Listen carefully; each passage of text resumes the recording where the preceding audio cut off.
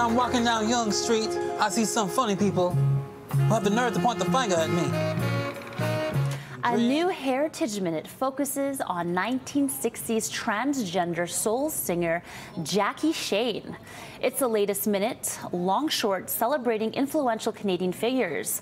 Shane worked in the Canadian R&B scene, contributing to the Toronto sound, a version of electric soul in the early 1960s.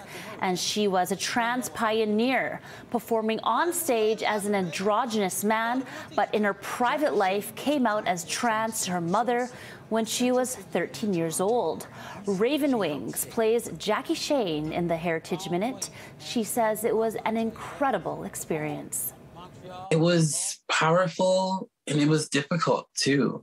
Um, I had to put myself emotionally in in sort of her body in some of the scenes. There's a scene where we're walking outside and um, we're getting sneers and looks and thinking about what we weren't allowed to do as, as Black folks, one, and then as especially as a Black trans woman in the 60s and how she had to cover things and reveal things. And there was so much um, danger. You know, there's still a lot of it, but there, but there was so much more in that time period. It was so much more risky. Um, and I just had a different kind of found newfound respect for um, who she was and how she did it. Um, and for this, I really wanted to, as an artist, like let Raven leave the chat, so to speak, and just let Jackie take over. So when it came to like makeup and hair, costume, all that kind of stuff, um, I didn't look at any of it.